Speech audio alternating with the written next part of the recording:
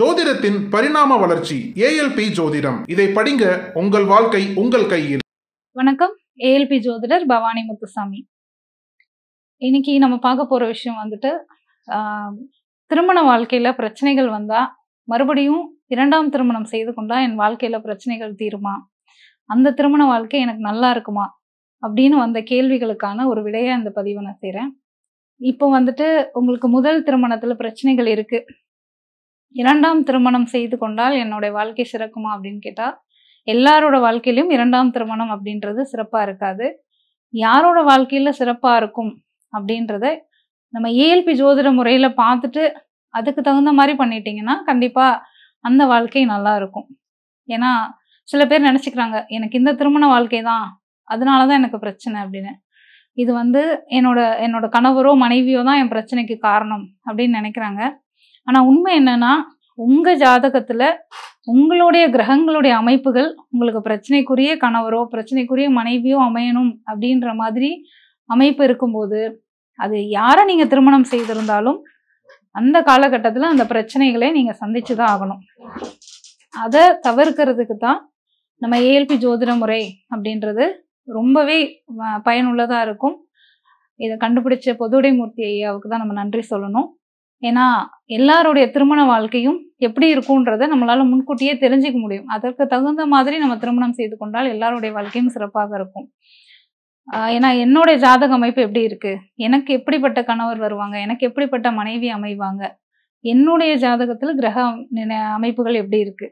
இது எல்லாம் தான் தீர்மானிக்குதே தவிர நான் இவரை கல்யாணம் பண்ணிக்கிட்டனால தான் இந்த பிரச்சனைகளை சந்திக்கிறேன் அப்படின்றது வந்து கண்டிப்பாக கிடையாது. உங்கள் அமைப்பு உள்ளதுனால தான் நீங்கள் அவரை கல்யாணம் பண்ணிக்கிட்டீங்க. அப்படின்ற ஒரு தெளிவு வந்து எல்லாத்துக்குமே ஃபர்ஸ்ட் வரணும். அதன் பிறகு இப்போது எனக்கு பிரச்சனைகள் இருக்குது நான் எதெல்லாம் வந்து பண்ணி பிரிஞ்சு வந்துட்டேன். இதுக்கு மேலே நான் மறுபடியும் என்னோடய வாழ்க்கையை வந்து தொடர்றதுக்கு எனக்கு இரண்டாம் திருமணம் சரி வருமா? அப்படின்னு நிறைய பேருக்கு இருக்கும். ஏன்னா இதற்கு மேலே பிரிய போகிறவங்க ஒரு தடவை இதை வந்து ஆலோசித்து செய்யலாம். பட் ஏற்கனவே எனக்கு திருமண முறிவு ஆயிடுச்சு. நான் பிரிஞ்சு தான் இருக்கேன்.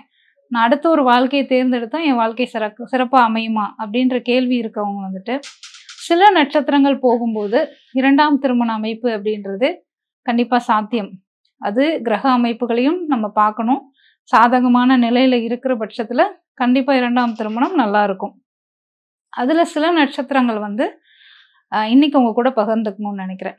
இப்போ உங்களுக்கு போகக்கூடிய லக்னம் அப்படின்றது ரிஷப லக்னம் போகுது அப்படின்னு எடுத்துக்கிட்டோம்னா ஏல்பி லக்னம் வந்து மிதுன லக்னம் போகுது.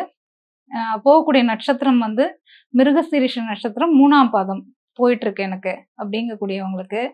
திருமண வாழ்க்கை எனக்கு ஏற்கனவே பிரச்சனையாகி நான் பிரிஞ்சிருக்கேன் அப்படின்றவங்க. கண்டிப்பாக இந்த காலகட்டத்தில் உங்களுக்கு இரண்டாம் திருமணத்திற்கான அமைப்பு நல்லாவே இருக்கும். அதை வந்து உங்களுடைய ஜாதகத்தை பொறுத்து யாருக்கிட்டையாவது ஏல்பி ஜோதிடர் அணுகி சரியா இருக்கான்னு பார்த்துட்டு தாராளமாக நீங்கள் வந்து இரண்டாம் திருமணம் செய்து கொள்ளலாம். அதே போல் கன்னி லக்னம் ஏல்பி லக்னமாக எனக்கு போயிட்டுருக்கு. ஹஸ்த நட்சத்திரம் ஒன்றாம் பாதத்தில் என்னோட நட்சத்திர புள்ளி நகர்ந்துட்டுருக்கு.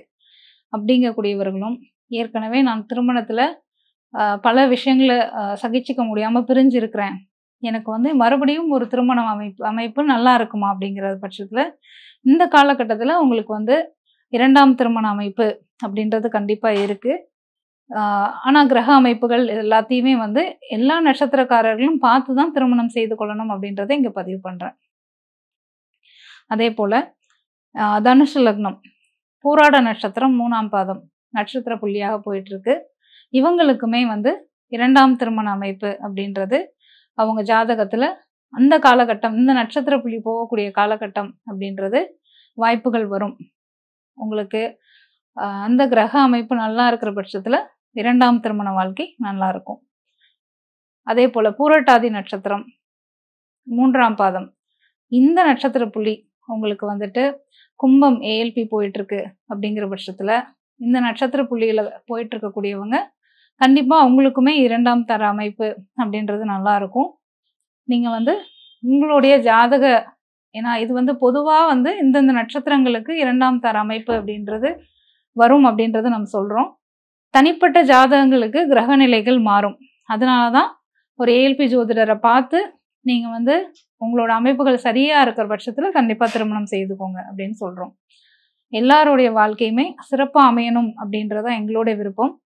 ஏன் ஏஎல்பி ஜோதிடரை பார்க்கணும்னு சொல்கிறோன்னா இந்த முறையில் தான் லக்னங்கள் மாறும்போதும் நட்சத்திரங்கள் மாறும்போதும் நம்ம வாழ்க்கையே மாறும் அப்படின்ற ஒரு விஷயத்த நம்ம குருநாதர் பொதுவுடைமூர்த்தி ஐயா அவர்கள் கண்டுபிடிச்சிருக்காங்க.